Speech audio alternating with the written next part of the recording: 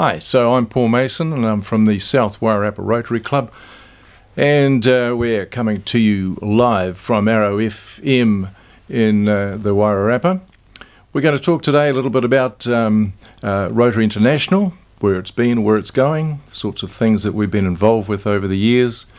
I have with me today here Brian Baxter, who's our current president. So, Brian, perhaps you introduce yourself. You can start talking and say hello.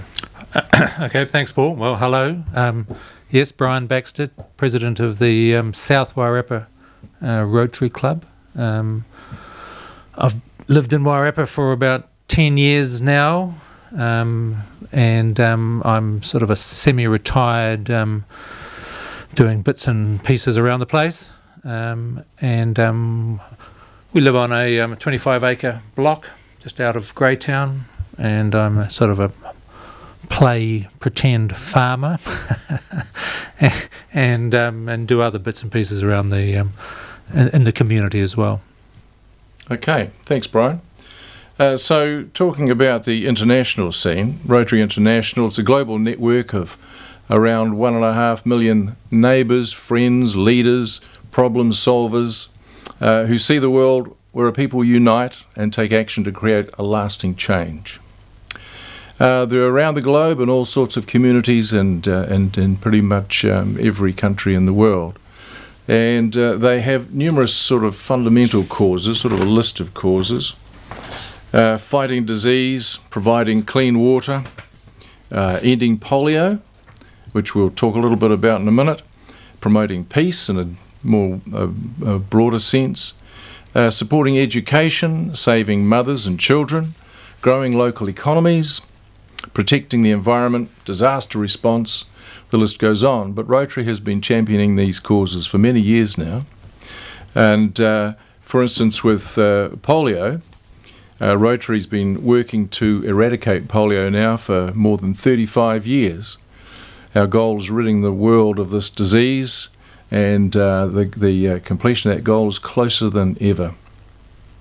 As a founding partner of the Global Polio Eradication Initiative, we've reduced polio cases by 99.9% uh, since the first project to vaccinate children in the Philippines, which started in 1979. So far, Rotary members have contributed more than $2.1 billion and countless volunteer hours to protect nearly 3 billion children in 122 countries from this paralysing disease. Rotary's advocacy efforts have played a role in decisions by governments to contribute more than $10 billion to the effort. Today, polio remains endemic only in Afghanistan and Pakistan, but it's crucial to continue working to keep other countries polio free. If all eradication efforts stop today, within 10 years, polio could paralyse as many as 200,000 children per year. So here's a few statistics. Costs $3 to fully protect a child against polio. We uh, vaccinated uh, 430 million. Uh, that was a figure from a couple of years ago. And it costs around $100 million a year to maintain the program. Um, we're also uh, the promoting peace effort. I'll get Brian just to talk a little bit about the peace effort while I uh, key up a video which we're going to show you about uh, some efforts that we've taken for providing clean water. Brian. Thanks, Paul. Um, today, there are over 70 million people displaced as a result of conflict, violence, persecution, and human rights violations. And half of them are children, so that's 35 million children. Uh, as Rotarians, uh, we refuse to accept conflict as a way of life. Rotary projects provide training that fosters understanding and provides community, uh, communities with the skills to resolve conflicts.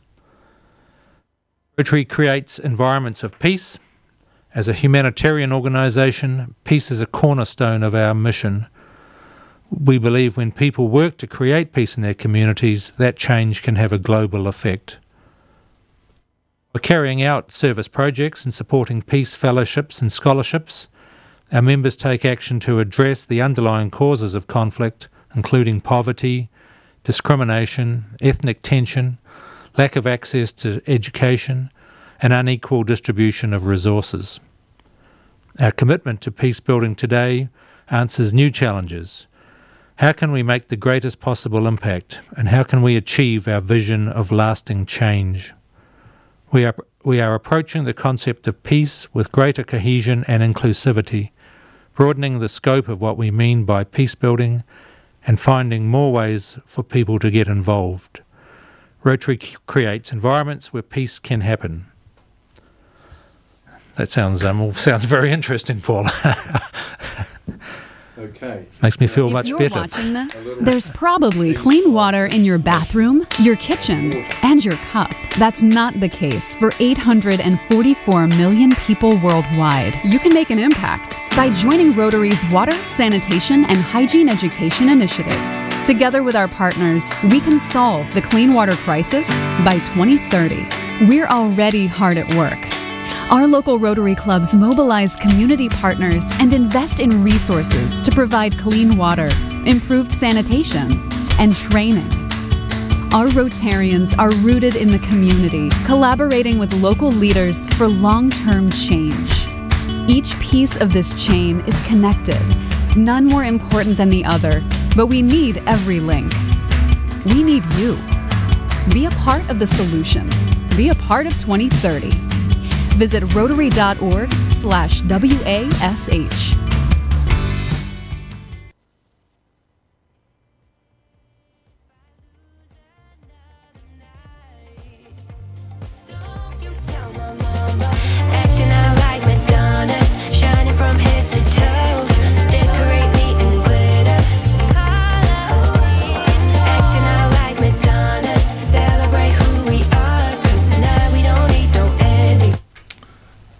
Better. but a slight problem with the uh, with the volume. Um, sorry about that. So um, uh, perhaps if we move to Wairarapa or the uh, Rotary Wairarapa or Rotary New Zealand, perhaps. Throughout um, New Zealand now, we've got a whole bunch of um, uh, projects underway, uh, especially to do with things like polio, um, the Rotary Young People's Enrichment Initiative, um, and uh, medical innovative young minds is another um, uh, initiative for Rotary uh, New Zealand. Um, global grants uh, and so on. So um, throughout uh, New Zealand, all the Rotary clubs have been doing some quite outstanding programs, and um, I have a couple of videos about some of the programs that they've been up to. Um, locally, our own um, club has been involved in. Um, uh, we've had uh, uh, youth awards recently. Hang on, I've got to find my page here. Uh, all right, recent recent events. We recently uh, gave our uh, Martinborough Fair Kuranui bursaries. Every year, the Martinborough Fair dedicates some of its money to the um, College bursary program.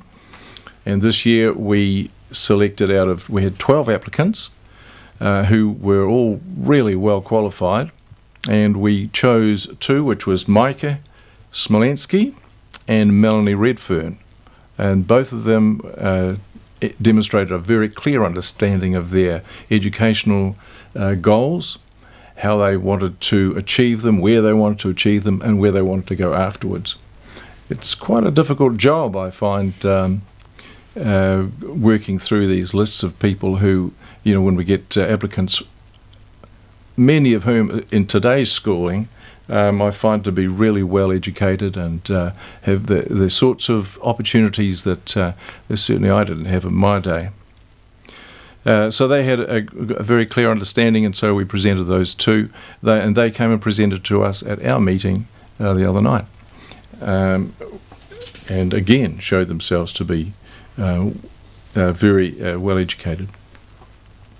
Uh, we're preparing for the Round the Bays run in Wellington, which is a fun run or walk, preparing uh, uh, uh, for uh, next year. Uh, Tamara Allahand is our local contact for that. She is a, uh, an enthusiastic runner. and uh, she's organising. The, they're going to have all sorts of T-shirts and what have you, uh, caps. Um, we had our food bank appeal recently. Uh, each year, Rotary throughout the Wairarapa join together with the fire service uh, teams in each of the Wairarapa centres, and they patrol all the streets. As uh, if you're a Wairarapian, you would have heard all the kerfuffle, uh, picking up food donations for the food banks in each town. Do you know any of the statistics about the food bank, Brian, at all? Um, no, Okay. I, I, all I know is that we collected a lot of um, a lot of food. I was down in Martinborough, and um, and I think we had a well, by all accounts, a record um, um, number of cans of food and all the other things that we get. So um, it, it's quite amazing how much um, the local community comes out and uh, and contributes. And then we took it all around to the Martinborough Food Bank, which and then the other, the other towns do the same, Featherston and Greytown. And I don't know what happens to it after that. I guess it's um gets slowly used by the community. Okay, I've got some pictures here of the, uh, and, and Mike warned me that this would happen. We'd end up fumbling around uh, on screen, uh, but that's all right. We'll handle that. Okay, here are some awardees. I'm going to put these on the screen in a moment. When we go to full screen, there, and so I'm going to show you some of the awardees from the Youth Youth Awards night. There we go. So here, these are all the um, uh, the students that we awarded to. Where's my next button? There we are. Oh, okay. And now we're talking about the food bank. That's too small to see. I, I yeah. uh, Well, there we are. A little bit about food bank. When you talk about the amount of food, food everywhere. In uh, in Featherston, we were storing in some a couple of containers, and they filled up rapidly. Oh, I should have got bigger. Um, anyway, that's not working. Okay, moving right along. it was a nice thought. um, okay, so one of the reasons I got Brian in today was to talk about the year ahead. Uh, he's already had a couple of months to get his feet under the table and um, has already shown that he has some plans in mind for the club. And uh, so I'd like him to perhaps uh, either outline what he's going to do, or we can chat about it, whatever whatever suits you. You want to start with an outline? Yep. Um, uh, I mean, Rotary has this sort of quaint system where they um, have a different president every year, and so um, um, you get 12 months to do what you want to do, and then you're out. Um, and the president has quite a lot of influence on how the club operates. Uh, so there is an opportunity to do things, but you only have 12 months, and so um, um, you don't have a lot of time. I started off in July, and of course, we were in the middle of all the COVID um, uh, close downs, the lockdowns, and um, the, the first month or two was completely disrupted, and, and the previous president had um, all sorts of difficulties as well, because of course the previous president had um, probably four months of um, COVID closures, and uh, and we couldn't meet, and all those sorts of things. So, so the COVID thing did did teach us um, one important lesson, and that was that at the, our main fundraiser, which is the Martinborough Fair, um, is at risk. For example, if we uh, if we have a, another lockdown, if we move to level two or three or or higher than where we are now, then then we possibly can't hold our Martinborough Fair, and and obviously a lot of um, events around the country have been um, cancelled this year. And Toast Martinborough, for example, was one of those events that was cancelled. So, so we our our fairs are the two fairs that we have every year. There's a there's a risk that we that we can't hold them, and if we can't hold the fairs, then we um, then our income stream um, disappears. So one of one of my goals this year was to um, to look for alternative sources of income. We pretty much have um, all our um, eggs in the one basket in terms of um, our income, and that's the Martinborough Fair. And so if that doesn't happen, then then then our, our we have no income. So we need to find alternative sources of income. So that's one of the things that I'm looking to do um, this year, and, and we've got a couple of um, possibilities that we're working on. They're not going to happen overnight, but um, so that's that's one thing, and that was some, that was a lesson from COVID, I guess. That um, and and I guess there's a lot of community charitable organisations out there that are in the same boat that their their income sources are suddenly either diminished or uh, they they find that they're um, you know that there's a risk associated with their income. So so that was one of the things that I was looking to do, just to um, to to try and um, make sure that next year we have some money coming in because if we don't have any money coming in, we can't do all the good things that we um, that we normally do. So, um, um, so that was one area. The other area was to really follow on again from previous presidents, and that was to to modernise our club a little bit, to make it a little bit more attractive to um, to people who might be wanting to join it, maybe modernise it a little bit more. Um, Rotary, I guess, is possibly regarded as a a, a an organisation that um, from the past, but there's a lot of work being done to to bring it into um, into the, the the current times, and so that was something that I'm I've been working on and still working on, is to try and modernise the organisation, make it a bit more attractive for people to um, to want to join promote it a bit more. And, and of course, this is um, doing that so that people um, know all the good things that Rotary does, um, because we do tend not to um, promote ourselves very well. We do a lot of good good work in the community, but we don't always tell everybody about it. And um, and the Martinborough Fairs are an example of that. Um, you know, probably half of Wairarapa doesn't know that South Wairarapa Rotary run those Martinborough Fairs, and that all the money we make from those fairs uh, which is you know hundred thousand a year goes back into the community through the grants that Paul was just talking about to the um, to the, the, the school bursaries, grants to the food bank. I think we've given about five thousand to to the Featherston Food Bank this year, and another five thousand odd to the Wharekaka um, centre in in in Martinborough. So all those things that we do, we rely on the money from the fair, and so we need to make sure we have money um, to be able to do that. And we need to be a modern club that people want to join because you know, we do make money from the fair, but um, there's a lot of work goes into organising those fairs and um, uh, the preparation for them. That's probably a six-month job just doing the preparation for the fairs, and then all, the work on the ground on the days. Um, um, there's a lot of work involved. So, um, and so we need people to do that. So we need club members to be able to do that. So, uh, and preferably young club members, because some of that work's quite hard. Well, it's not hard, but it's um, you know when you're in your 80s, it can be a bit difficult. So, so, so there are a couple of there are the two main things looking to do this year: modernise the club a little bit, and to um, um, put our um, finances into a slightly more secure position than perhaps they they have been. And how am I how am I getting on with all that? Well, yeah, halfway through the year, and um, as I say, you only have a year, and then somebody else comes along and with maybe different ideas, and um, but we're we're getting there.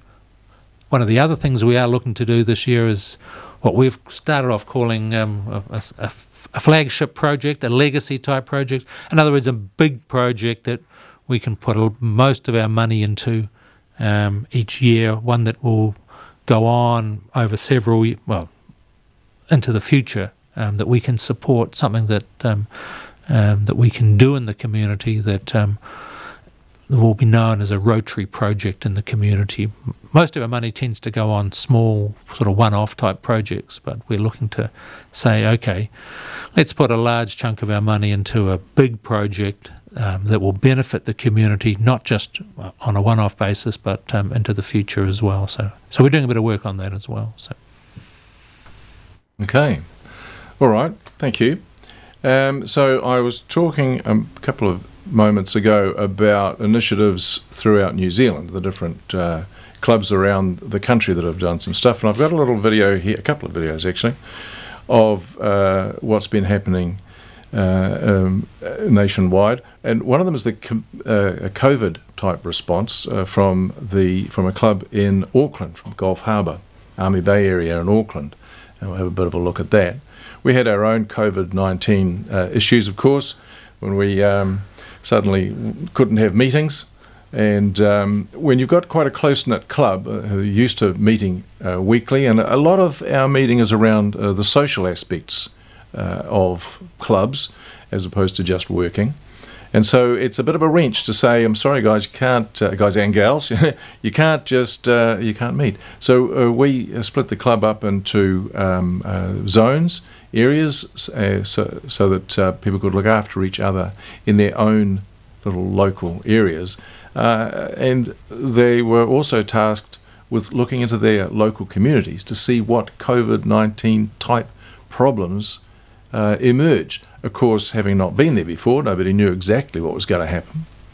Uh, so the challenge was to keep our ear to the ground in each of our local areas. Uh, the thought was that it would probably probably be close to home. Things were going to be happening in our local districts with our people, our neighbours, and that Rotary was in a unique position to help.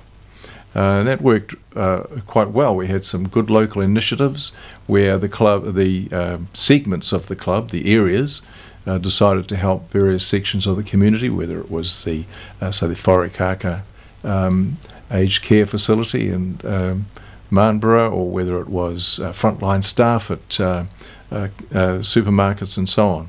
But here's a little uh, uh, story about a COVID response from the uh, Army Bay area of Auckland, if I can get this going. Right. And again, Mike remind, told me this A public call for volunteers to assist anyone in need due to COVID 19 went out on March 25th, 2020, just as New Zealand went into level 4 lockdown. This became known as the Gulf Harbour Army Bay United Against COVID 19 Support Group. The public response to the call was overwhelming, and Rotarians from clubs around the Whangaparoa area offered to help. Using Rotary's organisational skills, brand visibility, and credibility, we quickly developed a committee with clear goals and leadership. This allowed the group to gain official support, develop teams to safely deliver services, and manage communications between volunteers and those in need. We also developed working relationships with the police, District Health Board, and Whangaparoa Response Group.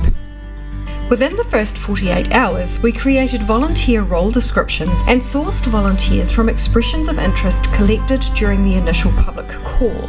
Within the first 72 hours, a group and Rotary branded leaflet was created, printed, and distributed. Within 96 hours, we started receiving the first requests for assistance. The group fielded requests daily during lockdown, and periodic leaflet drops ensured that those needing assistance were aware they could receive it. The Rotary coordinating team operated from home as they were in the stay at home age range. 50 younger volunteers shopped for those unable to safely get to the supermarket under lockdown. The coordinating team ensured that volunteers knew what to buy and where to deliver it. They also ensured volunteers were reimbursed. Service recipients were contacted after a service cycle so we could check in, answer queries, and, if necessary, offer a referral to the DHB or age concern. Service recipients frequently expressed gratitude that someone out there cares. Several have donated to Rotary. For volunteers, the ability to help people who really need it was a source of tremendous satisfaction. The project has been a huge success on all fronts. It offered positive community visibility for Rotary, attracted support, and laid the groundwork for increasing our younger membership.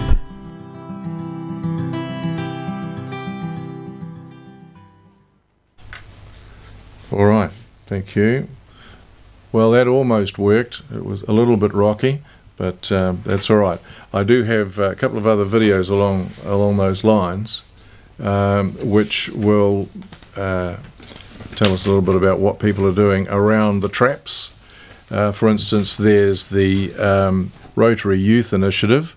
Um, they've done they did a, a virtual program um, because, of course, of of COVID and so on. Um, And uh, so I've got a little bit of a clip here about the 2020 COVID 19 um, or the, the 2020 RYPEN camp and how they went about it. Uh, but um, uh, in the meantime, while I set that up, so we're not doing it while you're watching, Brian's going to just tell us a little bit, talk to us a little bit about our youth awards that we had recently. Brian. Right. Well, we have each, well, every second year, every two years, we have a um, a youth awards where we um, we call for nominations from youth. I think the youth we define as anywhere between um, five and twenty-five. Um, people who who display the Rotary sort of principles, I guess you would say. We're not looking for necessarily outstanding achievers um, and uh, you know at, at school in terms of um, their academic achievements or sporting achievements, uh, but we're looking for people who who display the Rotary principles of serving the community, helping people in, in their community. And so we have it, that every two years. Um, the alternate year, incidentally, we have our, what we call our community awards, and so I guess it's the same thing, but it's for older people, um, recognising people in the community. So the youth awards, you just you just let me know, Paul, when you're ready to go. the youth awards this year, um, I think we awarded them to. Um, I'll, I'll just run through the names: John um, Bayan, um, Michael Fletcher, Henry Isaacs, Charlie O'Connell, Anna Suto, Joshua Wigman, and Lauren Wigman Peters. And um, and we um, we had a big uh, big ceremony down at um, Featherston. We had um, guest speaker, um, and he presented the awards. Um, he was um, his name was Guled Mire, and he was a Somalian uh, refugee, and he's a young guy lives in Wellington, and he's been in the news quite a bit lately, one way or another. He founded the Third Culture Minds, an organisation called Third Culture Minds, um, to help young people with an emphasis on mental health and well-being. He came here from Somalia um, via all sorts of places, I think, um, long way around the world to get from Somalia to New Zealand. Um, but he, so he, he promoted this company called Third Minds, Third Culture Minds, um, focusing on mental illness, which is a bit of a taboo topic um, in, in his African culture and carries considerable stigma. So Guled spoke about um, some of the people who had inspired him, enabled enabled him to unlock his leadership potential, um, and for example, um, in helping to change um, New Zealand's refugee policy to remove the ban on people from Africa and the Middle East. His advice to young people was to search out mentors um, and to be prepared for uh, for whatever life throws at them, um, recognizing that um, life will always uh, will not always be a smooth ride. Uh, he urged the young people to um, reach out and congratulated them before he presented the awards um, to those people I read out before. So, uh, so that was our um, youth awards. Fantastic. All right, thank you. One comment I might make on, on that was that uh, three of the recipients, Charlie O'Connell, Anna Suto, and Joshua Weekman, set up a company, uh, a, a website called TechWise New Zealand. It was aimed at assisting people to connect with each other, and they ended up uh, working with uh, citizens, senior citizens, and helping them get connected together, uh, mentoring them in the use of technology, which I thought was an excellent initiative for these three young people.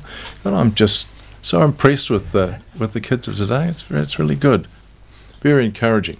Anyway, I talked about RYPEN, what we call our little acronym, the Rotary RYPEN, Rotary Youth Program of Enrichment. Uh, so it's an annual leadership development weekend for secondary school students. And in 2020, COVID 19 made a physical camp impossible. So a group of Rotaractors and uh, Rotary youth leaders, graduates, put together an online substitute. And this explains this successful initiative.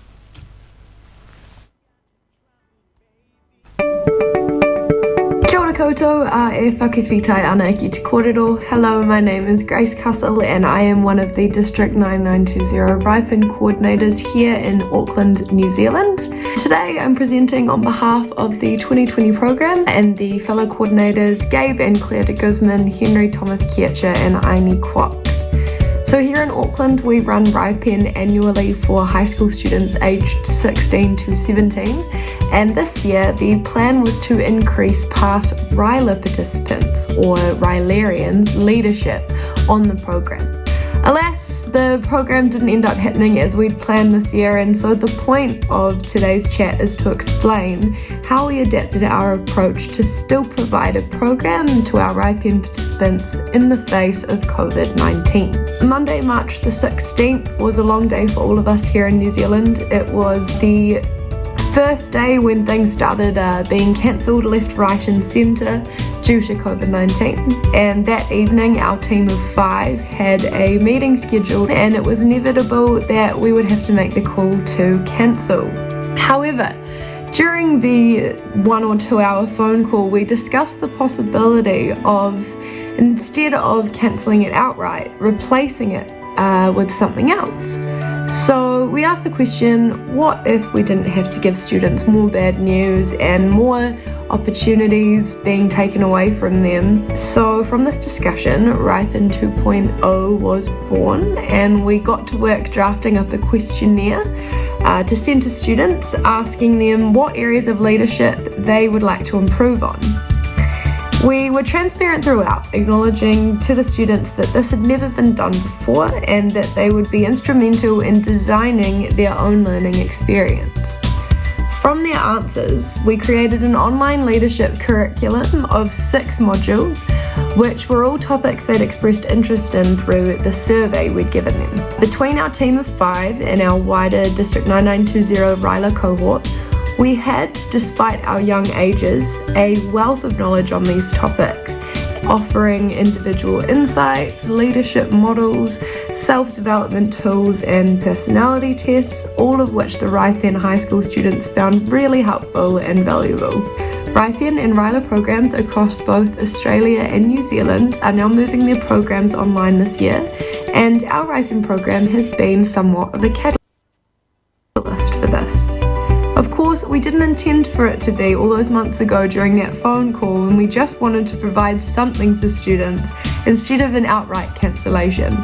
But the idea has spread to us giving multiple presentations to Rotary clubs across Oceania, over Zoom, of course, and it's incredible to see our work having a wider impact, not just to the RYPEN participants themselves, but also to the development of RYLA participants and consequential impacts that it's had on Rotary networks and programs across Oceania. From here, we are contemplating our possibilities to take this online program further to other students or Rotary programs. If you have any inquiries or remarks, we'd love to hear from you, and our contact details are now on the screen. Thank you for your attention, and on behalf of Gabe, Claire, Henry, Aini, and myself, ka kite anō from Aotearoa, New Zealand. Great. Well, that was interesting. We lost the video a couple of times there, but I'm getting used to it slowly. Uh, so, uh, Brian's just going to uh, introduce the next little Thanks, segment, loads, John. And um, thank you. which is uh, on our playlist there. Right. So the next one is um, the Nandi medical bus. Um, this was a, um, a, a mobile health uh, project uh, in, a in partnership with um, many others in Fiji uh, to provide free medical services to outlying communities. Um, we also had a, um, a Rarotongan um, a similar bus um, that um, we sent to Rarotonga um, a couple of years ago, and that was pretty much a, a Wairarapa project, particularly um, the South Wairarapa uh, uh, Rotary Club, uh, in association closely with, um, I think, with um, Tranzit bus, uh, Tranzit coach lines. And they sent a bus over there with um, all, all with all the medical gear in it, and it went round and round Rarotonga. Um, that loop road in Rarotonga, and uh, took medical Just a sound check. facilities to the um, to the locals basically, and this is similar to the Nandi bus. Um, a lot of those facilities in the islands are, are, are not quite isolated, but they're a long way from um, from the um, the main hospitals, for example. And Rotary tends to focus on the, the Pacific Islands when we're looking overseas to um, to to um, for aid projects. Um, we we pretty much focus on the um, the Pacific Islands. Um, there's always a few um, hurricanes um, in the islands that cause all sorts of havoc each year. And there are lots of other things. And Paul was talking earlier about water projects and just getting clean water. You would think these places have would have plenty of water, but they don't. And, and getting clean, healthy water is big issue. Anyway, Nandi Bus. The Nandi Mobile Health Clinic project is an example of a values based partnership with two organisations, Rotary and Ramakrishna Mission, working together to achieve a life changing and sustainable outcome. I would like to acknowledge the invaluable contributions of the Rotary Clubs of Harbourside, Auckland, Nandi, and Papatoetoe Central. Non communicable diseases are rife in Fiji, with rates of illnesses like diabetes more than 10 times those in New Zealand or Australia. These diseases not only impact quality and length of life, but also economic and social well-being. The Ramakrishna Mission operates the Saranda Medical Centre in Nandi, Fiji, providing free health services. The need for mobile health services had long been identified by the mission working with the Fiji Ministry of Health. However, neither party had the money for a vehicle. We reached out through our Rotary Club of Nandi, who connected us to Ingrid and her club members. It was very, a very natural fit because all, both of our organizations are geared to the same ideal mission and vision of saving people With more than 100,000 New Zealand dollars and guidance supplied by Rotary clubs and businesses from Auckland and Fiji, a vehicle was sourced and fitted out as a clinic in Fiji and was on the road in early 2020, briefly interrupted by COVID 19. The clinic is a preventative health service out in communities that otherwise would not have ready access. Services include early identification and education as well as initial treatment and medication. More serious cases are referred to clinics and Nandi Hospital. Community health workers in each location are key members of the team, and the clinics are held in local schools and churches. Take up of the services has surpassed expectations. From the 1st of July until the 13th of August, over 1,900 people in 31 communities, settlements, and villages have been seen. In the 20 to 60 year age range, approximately 50% were identified as at risk. The Nandi Mobile Health and intervention is an example of a values based worsening. We are very partnership with two organisations, inform Rotary and the bus Ramakrishna is Mission, out on the working road. together to achieve. Okay, so that we can go to the fair. yes, that didn't quite work at all. My goodness. Um, okay, so uh, just moving right along. um, now we were going to also. Well, I'll try and figure out uh, how to work that. Uh, just while, uh, are you able to talk about the fair for a second? I can talk about the fair. When did we set the fair up? It was in 1970 something or other, 70.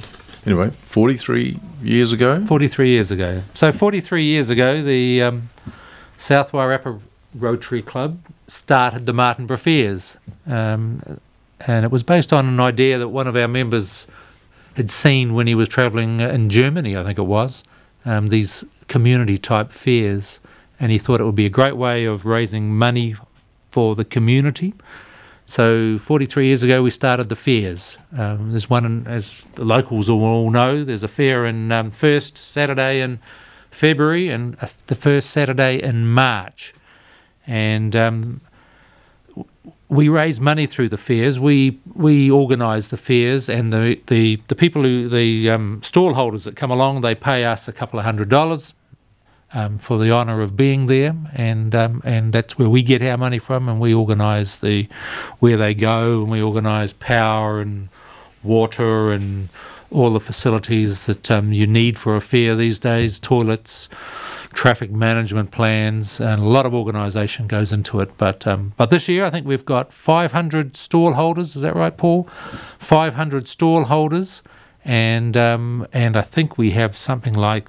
I mean, I don't know that we've ever done an account of the people who come to the fair, the visitors, but I we generally talk about 30,000 people coming every year to the Martinborough Fair.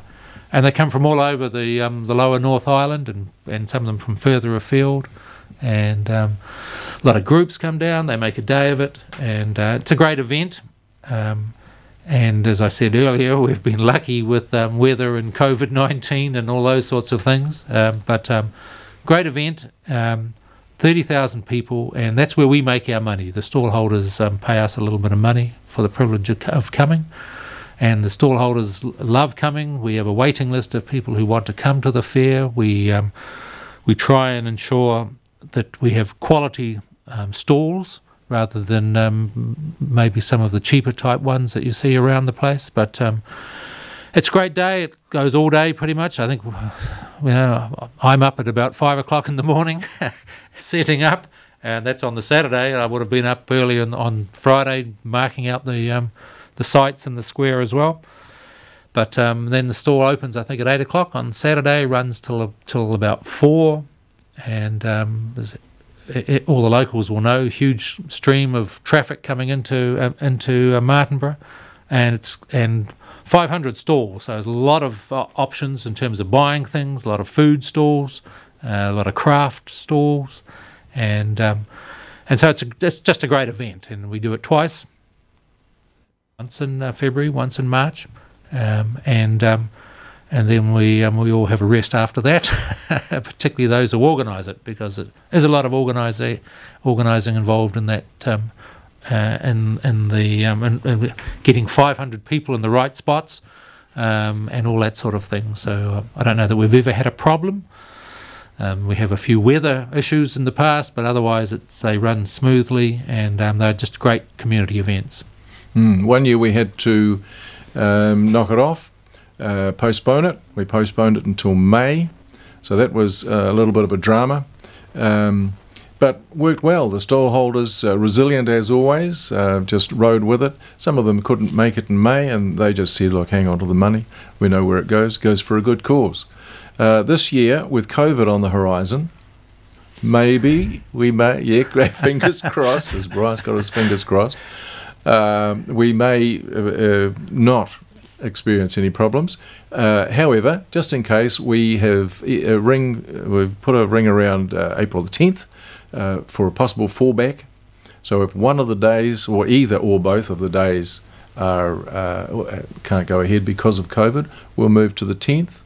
Um, but we're hoping now, looking at the international scene, that there'll be a few vaccines around. Certainly, I think New Zealand can be proud of its record uh, that we have kept our borders fairly watertight. Um, uh, so, yeah, it's looking good. It's looking good. Now, I have figured out how to make this uh, video work, I think. So, I'm going to give it another crack. So, uh, just uh, let's have a look, see if we can get it moving. Andy Mobile Health Clinic project is an example of a values based partnership with two organisations, Rotary and Ramakrishna Mission, working together to achieve a life changing and sustainable outcome. I would like to acknowledge the invaluable contributions of the Rotary Clubs of Harbourside, Auckland, Nandi, and Papatoetoe Central. Non communicable diseases are rife in Fiji, with rates of illnesses like diabetes more than 10 times those in New Zealand or Australia. These diseases not only impact quality and length of life, but also economic and social well-being. The Ramakrishna Mission operates the Saranda Medical Centre in Nandi, Fiji, providing free health services. The need for mobile health services had long been identified by the mission working with the Fiji Ministry of Health. However, neither party had the money for a vehicle. We reached out through our Rotary Club of Nandi, who connected us to Ingrid and her club members. It was very, a very natural fit because all, both of our organizations are geared to the same ideal and mission and vision of saving people With more than 100,000 New Zealand dollars and guidance supplied by Rotary clubs and businesses from Auckland and Fiji, a vehicle was sourced and fitted out as a clinic in Fiji and was on the road in early 2020, briefly interrupted by COVID 19. The clinic is a preventative health service out in communities that otherwise would not have ready access. Services include early identification and education as well as initial treatment and medication. More serious cases are referred to clinics and Nandi Hospital. Community health workers in each location are key members of the team, and the clinics are held in local schools and churches. Take up of the services has surpassed expectations. From the 1st of July until the 13th of August, over 1,900 people in 31 communities, settlements, and villages have been seen. In the 20 to 60 year age range, approximately 50% were identified as at risk, requiring follow up and intervention to prevent their conditions worsening. We are very happy to inform that the bus is out on the road five days a week with the medical team provided by the Ministry of Health and supported by our own staff at the Sharda Medical Center, seeing between 50 to 70 patients daily. Now, this is even beyond what we had originally expected, but we are very happy that it's very successful. The response uh, from the people of the community, from the government, has been very, very encouraging, and we feel very happy that this is a very successful and uh, fruitful partnership. The mission and the ministry now run the clinic, staff it, maintain the vehicle, and provide regular reports. Rotary and the mission have built a partnership that we plan to continue, providing early intervention services that we take for granted to people who otherwise would not be able to access them. We would like to thank the Rotary clubs for their wonderful support, financial and technical in very various ways. It has been a joy working with you, and we hope that this partnership, the support from the Rotary Club to our medical services in Fiji would continue. Okay. I think that actually worked, and we got a full video in. uh, so that pretty much brings us to the end of our program, and I'd like to just hand over to Brian just to tell us a little bit of what's happening at the end of our year and uh, uh, on into the new year. Brian. We um, we traditionally wind our year up with um, Christmas carols at um, Wharekaka um, um, Rest Home down in um, in Martinborough. Uh, we go down there and we sing carols with the with the residents, and we have a a drink and something to eat with them. Um, that's actually on Wednesday, I think it is.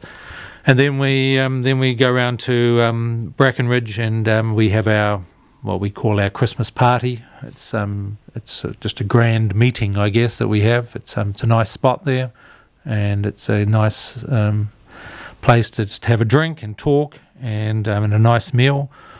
And I think we've got a speaker as well. We've got somebody from um, the Nico Foundation coming along to talk to us. Um, we usually have speakers at our meetings. So that's it. That winds up our year. Um, and then we have Christmas and New Year like everybody else. And then we start again um, with a, um, a, a barbecue in, um, in January, late January. And then, of course, we are straight into the fairs, the two fairs. So, um, so, so we have a bit of a break, and then we we start the year with a bit of a bang with our two big two big events, the fairs. So. So it's like everybody, I guess. It's been a long 2020. It's been um, we've had our issues, as Paul said before, um, not being able to have meetings. We had a lot of Zoom meetings. We all learnt about Zoom, and I guess everybody knows about Zoom these days. Um, but um, but it's been a long year. But it's um, we're nearly over, and um, it's I guess it's still been a successful year for all of that. Uh, um, and um, then we look forward to a new year, so um, which um, starts off in, um, as I say, um, late January.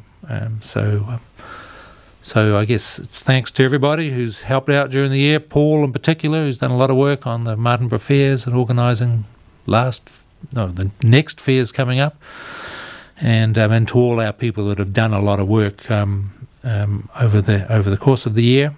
And um, who are all looking forward to um, working hard at the next um, next Martinborough Fairs. So, uh, so we, um, I think that's it, is it, Paul? Um, Yep, that's us. So I think we'll uh, say it's goodbye from me, and it's It's goodbye, from, goodbye him, from him. and it's goodbye from all of us.